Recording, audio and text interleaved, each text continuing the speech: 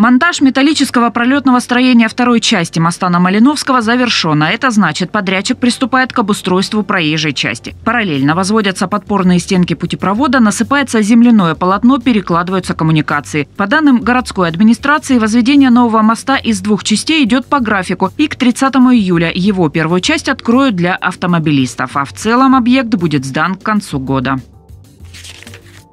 Штрафами будут грозить перевозчикам выключенные в жару автобусные кондиционеры. По этому поводу в Департамент транспорта стало поступать много жалоб. Сотрудники департамента проводят проверки соблюдения температурного режима в автобусах, но и пассажиры могут посодействовать. Если в салоне жарко, нужно попросить водителя включить кондиционер. Отказывается, жалуйтесь в транспортную компанию, телефон которой есть в каждом общественном транспорте. Либо звоните в Центр управления пассажирскими перевозками, его телефон на экране. При этом надо будет сообщить номер маршрута и автобуса автобуса, дату и время поездки.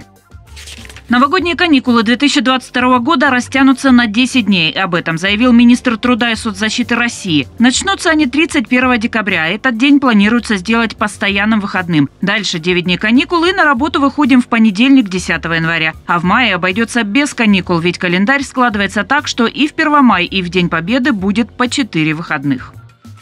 Пер Юхансен не будет наказан за серебро чемпионата страны и не попадание в финал четырех Лиги чемпионов отлучением от команды. Гонбольный Ростов-Дон продлил контракт с шведским тренером на один сезон. Юхансон возглавил Ростов-Дон в августе прошлого года. С ним клуб взял Кубок России, но не дотянул до золота чемпионата страны и не попал в финал четырех Лиги чемпионов. Контракт продлен на один сезон, как и с помощником Томашем Хловати.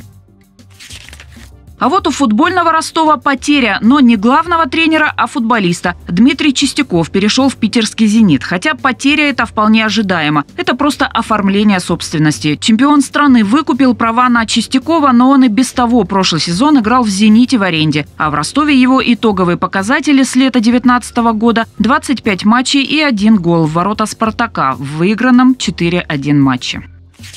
Какие они опасные связи показала ростовским зрителям школа драматического искусства. Московский театр дебютировал в Ростове на больших гастролях. Этот межрегиональный проект создан для сотрудничества профессиональных театров. Столичная школа будет сотрудничать с нашим молодежным. Гастроли проходят с полноценными декорациями, костюмами, полным актерским составом. Сегодня и завтра на сцене молодежного еще два спектакля «Кони за окном» и «Декамерон».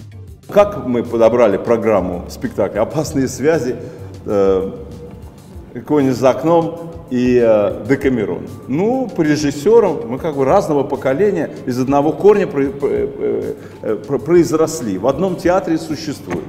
То есть там 50, 40 лет, 30 лет. То есть вот с таким шагом мы как бы э, встречаемся с, с вашим городом, с вашим театром.